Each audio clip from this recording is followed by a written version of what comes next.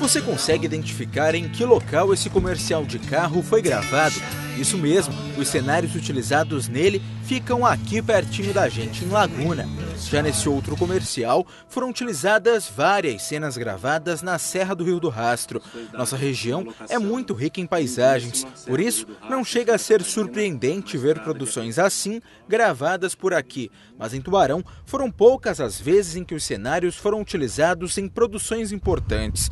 Pensando em incentivar ainda mais esse mercado do audiovisual, a Prefeitura da Cidade Azul enviou para a Câmara um projeto de lei. A intenção dele é instituir uma comissão para estimular o setor por aqui, incentivando não só a produção cultural, mas um desenvolvimento econômico bem significativo. A expectativa, naturalmente, é atrair eh, a atenção de quem é de fora né, para a nossa cidade, seja através uh, dos aspectos turísticos, né, de divulgação da cidade, que atrai outras pessoas, seja através das próprias produções, que acabam movimentando hotéis, restaurantes, acabam movimentando uh, pessoal da área de, de, de maquiagem, figurinistas, enfim, né, os, os próprios próprios produtores, naturalmente. A intenção é incentivar a utilização de cenários aqui em Tubarão para gravação de comerciais, séries, novelas, filmes, enfim, qualquer produção audiovisual.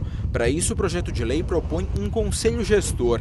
Com representantes de vários órgãos e setores, a comissão deve facilitar a emissão de licenças para as filmagens, por exemplo. A Profundação Sabor Natureza é uma das envolvidas. Às vezes você precisa, para gravar algum tipo de cena, você precisa fechar uma rua, uma praça, né? ou até uma portaria de um prédio, né? um órgão público que esteja envolvido no processo.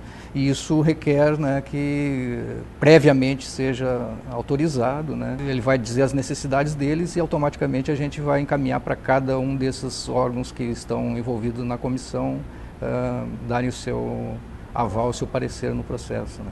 O objetivo é também montar um catálogo com as mais variadas paisagens de Tubarão.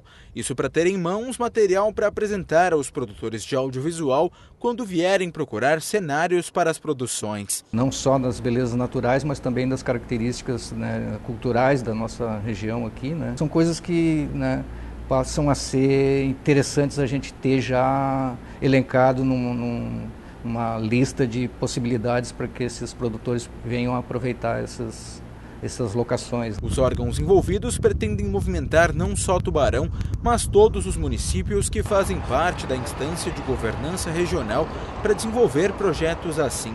Aqui em Tubarão, o projeto de lei já está tramitando na Câmara de Vereadores. Esperamos que siga né, com sua aprovação, porque isso abre o município né, para estar recebendo principalmente uh, produções uh, internacionais e nacionais que vão expor né, a nossa cidade, que vão gerar uma exposição, vão apoiar o desenvolvimento de todos os elementos turísticos né, e vão ajudar também na divulgação da cidade e na geração também de renda